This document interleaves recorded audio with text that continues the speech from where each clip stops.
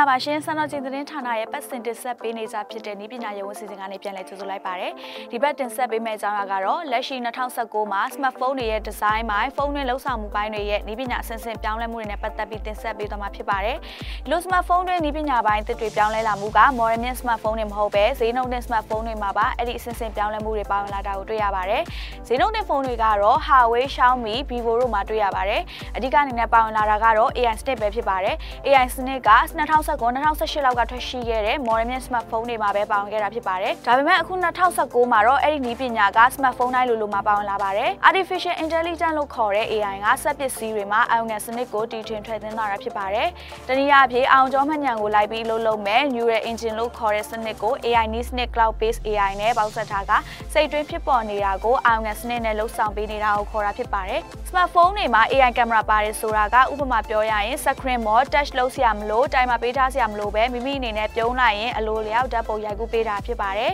။အဲ့ဒါကို AI နဲ့လှုပ်ဆောင်တယ်လို့ခေါ်ပါတယ်။နောက်ထပ်အဆင့်ဆင့်ပြောင်းလဲမှုကတော့2019မှာထွက်ရှိတဲ့ smartphone များစုမှာ notch လုံးဝမပါလာတော့ပါဘူး။2018မှာဖုန်း screen display တွေမှာ water draw notch screen မှာ Infinity V နဲ့ Infinity O ပုံစံနဲ့ထုတ်လုပ်ခဲ့ကြတာဖြစ်ပါတယ်။2019မှာတော့လုံးဝ Ultra Infinity design နဲ့ notch ပါလာတာကိုတွေ့ရပါတယ်။ဒီချက်က smartphone သုံးစွဲသူတွေအတွက်အရန်ကိုသဘောကျစေတဲ့အချက်တစ်ချက်ဖြစ်စေတာကိုတွေ့ရပါတယ်။တစ်ဆက်တည်းပြောရရင်ဒီလို Ultra Infinity Display ဖြစ်လာတဲ့အတွက်ဖုန်းရဲ့ selfie camera က slide ပုံစံမျိုးနဲ့ pop-up camera module မျိုးစားဖြစ်ပါဝင်လာတာပါ။ pop-up selfie camera ကရှေ့ camera က selfie ရိုက်မယ်ဆိုရင်တစ်စက္ကန့်အတွင်းဖုန်းတွင်းပိုင်းတွေကနေအလိုလျောက်ထွက်လာမှာဖြစ်ပါတယ်။ဒီ camera feature က Vivo Nance နဲ့ Oppo တို့မှာအရင်ထွက်ပေါ်လာတာဖြစ်ပါတယ်။နောက်ထပ်ဆင့်ဆင့်ပြောင်းလဲလာမှုကတော့လက်ပွေရာ fingerprint စနစ်ပဲဖြစ်ပါတယ်။အရင်တုန်းက smartphone တွေမှာ fingerprint စနစ်ကကြောဘက်ဒါမှမဟုတ်ဖုန်းရဲ့ power clock မှာပါဝင်တာဖြစ်ပါတယ်။ဒါပေမဲ့နောက်ပိုင်းမှာတော့ဖုန်းရဲ့ screen ပေါ်မှာတင် Ultra Fingerprint in Display ပုံစံမျိုးနဲ့ပါတာကိုတွေ့ရပါတယ်။နောက်ဆုံးအနေနဲ့နောက်ထပ်ပြောင်းလဲလာမှုတစ်ခုကတော့မျက်နှာပြင်ကိုခောက်နိုင်တဲ့ foldable smartphone လို့ခေါ်တဲ့ခောက်ဖုန်းတွေပေါ်လာတာပါပဲ။ Huawei နဲ့ Samsung မှာထွက်လာတာကိုတွေ့ရပါတယ်။အဲ့ဒါကတော့ smartphone လို့ဖြစ်စေ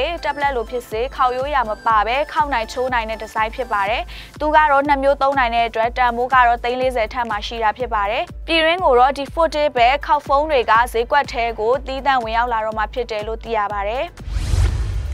ဒီဘက်ဆန်တော်ချိန်ရဲ့ဤပညာရမိုးစီစဉ်ဒီမှာနေရနာလိုက်ပြစေရှင်နောက်ဘက်မှာလည်းဘလို့ဤပညာကျောင်းရာတွေကိုတင်ဆက်ပေးသွားမလဲဆိုတာစောင့်မျှော်ကြည့်ရှုဖို့ဖိတ်ခေါ်လိုက်ရပါတယ်အားလုံးအထူးပဲကျေးဇူးတင်ပါတယ်